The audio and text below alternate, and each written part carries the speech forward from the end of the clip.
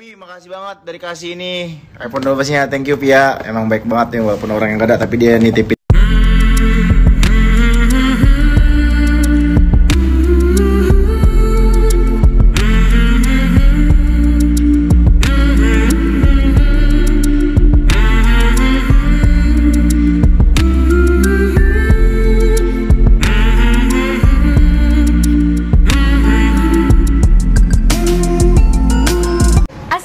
Assalamualaikum, saya Lesti. Untuk teman-teman semuanya Jangan lupa like, comment, and subscribe.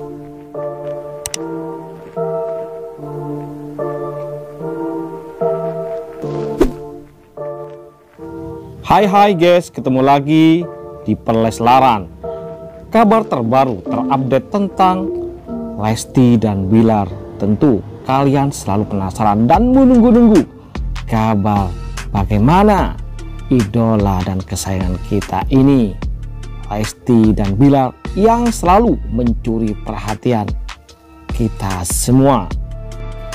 Di sore hari ini sebelum Rizky Bilar berangkat ke acara Popa ternyata ia punya schedule yakni pemotretan guys. Pemotretan untuk brand ambasadornya apakah si Bang B ini hadir ke PS ke tempat PS Putra Siregar bareng dengan kekasihnya Lesti Kejora bagaimanakah kira-kira dia melakukan sesi pemotretan di sana tentunya Apakah si Dedek diajak? Ya, tentu saja tidak guys karena kondisi Dedek Lesti sekarang kurang baik. Rizky Bilar sendiri pada saat hadir dan bertemu dengan Putra Seregar ia mengajak sang manajer Derry dan Jerry sang sahabat yang juga merupakan model pada saat itu. Tentu hal ini adalah untuk menunjang serta menjadikan hari-hari mereka semakin berwarna. Ya, karena walaupun keempat bulan mereka merayakan hari pertemuan Leslar, namun Rizky Bilar masih tetap berusaha menyempatkan diri secara profesional bekerja giat tentu.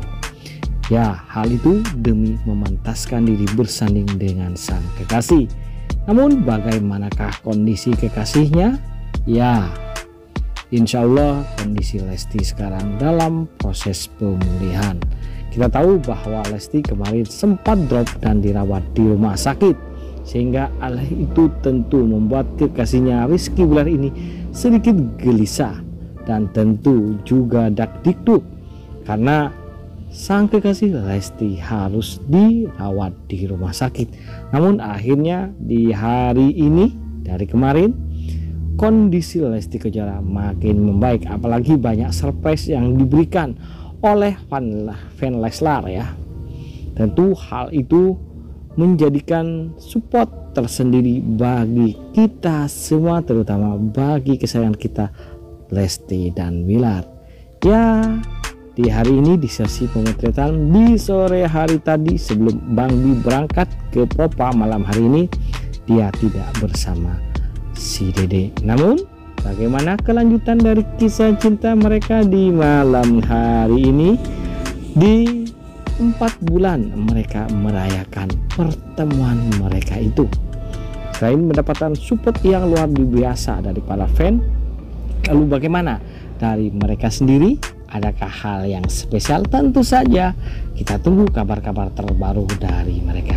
Tapi jangan lupa bagi kalian yang masih baru berkunjung di channel kita untuk tak ragu klik subscribe dan nyalakan loncengnya agar terkabar terbaru mengenai mereka berdua yakni Lesti dan Bila kalian dapatkan update-nya setiap saat tanpa harus menunggu lama.